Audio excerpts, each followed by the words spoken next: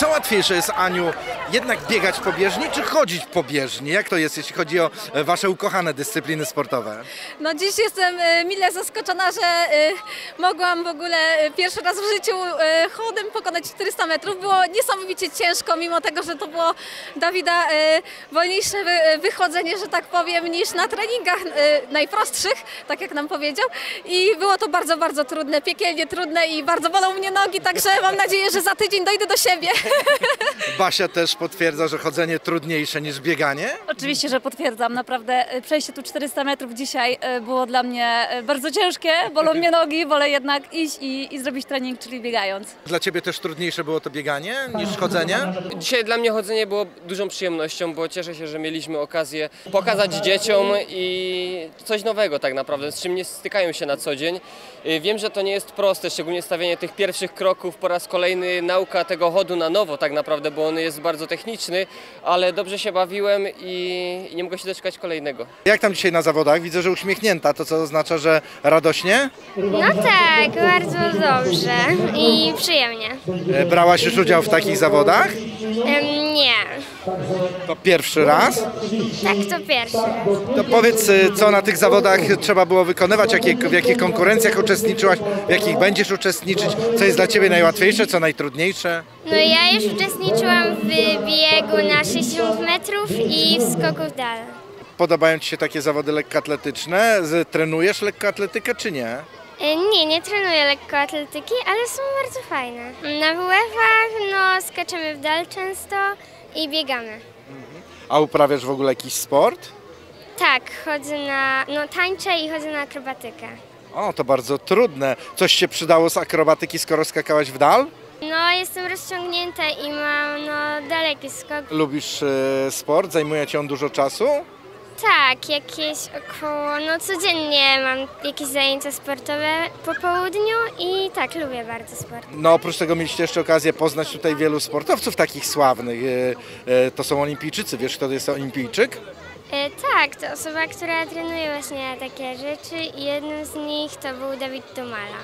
Czy dzisiaj z perspektywy Was, olimpijczyków, e, mistrzów, e, oni mają łatwiej? Myślę o pokoleniu dzieci, których dzisiaj setki tu w Opolu przyszły się cieszyć lekkoatletyką. Tak, myślę, że zdecydowanie y, Polska rozwinęła się w tym kierunku. Teraz super, że powstało właśnie to wydarzenie, na którym dzisiaj jesteśmy i, i faktycznie będzie łatwiej na pewno y, wybierać y, przyszłe nadzieje olimpijskie tutaj. Kiedyś było ciężej, nie było dostępów do stadionów, nie mieliśmy tartanów, nie mieliśmy niczego, a dzisiaj młodzież naprawdę ma duże szanse rozwinąć swoje e, umiejętności sportowe.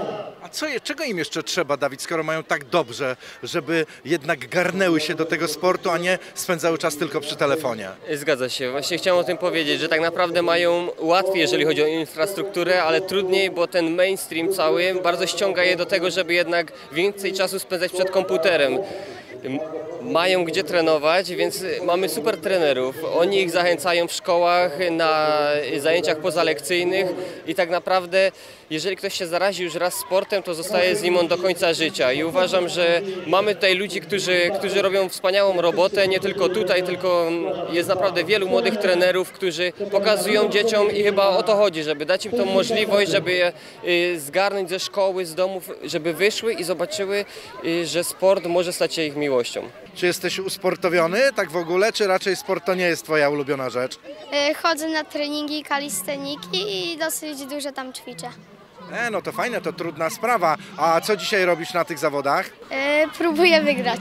Jeszcze będę biegł na 60 metrów, a teraz e, skakałem z wyż i udało mi się przeskoczyć, udało mi się przeskoczyć metr 5, e, lecz dalej już chyba nie zaszło. Powiedz mi, to trudna konkurencja, ten skok wzwyż? Pierwszy raz to robiłeś? Tak, pierwszy raz to robię i jest to dosyć trudne.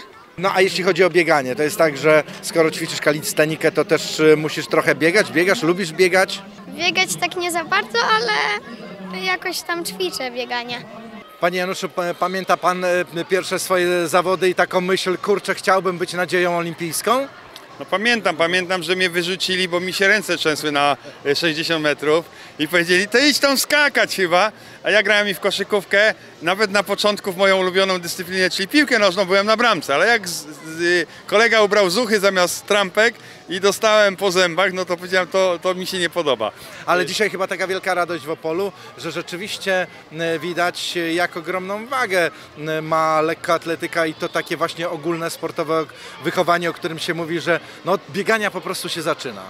No myślę, że y, ilość olimpijczyków, to jestem dumny, bo aż siedmiu ze mną y, i to jakich, y, pokazało, że warto właśnie tego typu imprezy robić. Właśnie istota projektu polega na tym, że to są e, te najmłodsze dzieci, e, które dopiero zaczynają przygodę ze sportem. Tak, no czwarta, piąta klasa to jeszcze są dzieci, które przychodzą z trzeciej klasy, gdzie nie ma WF-u, więc y, myślę, że za szczepienie takiej idei, a z drugiej strony, no kto widział na stadionie Ania Wielgosz, Ania Brzezińska, Jacek Szoła, y, Bartek Bąk, no to nazwiska, które na pewno są rozpoznawalne i są pięknym przykładem, że ruch olimpijski się rozwija i myślę, że te zawody pokazały otwarcie i obecność tylu VIP-ów, ale też olimpijczyków i dzieci. 650 zgłoszeń, niestety musieliśmy 200 dzieciom odmówić, ale nie jest to łatwe, bo to jest aż 5 konkurencji w dwuboju, każdy musi zaliczyć dwie, więc tych startów jest ponad 2000 i to wszystko wymaga e, przygotowania. Dzieci biegają elektronicznie, to nie jest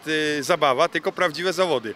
Co w finale? No finał 30 i trz- i 1 października, e, 16, 15 dzieci, dziewczynek i 15 chłopaków, plus 6 osób dodatkowo, które wybierzemy, pojedzie do Warszawy na dwudniowy finał z celebracją, z piękną ideą olimpijską.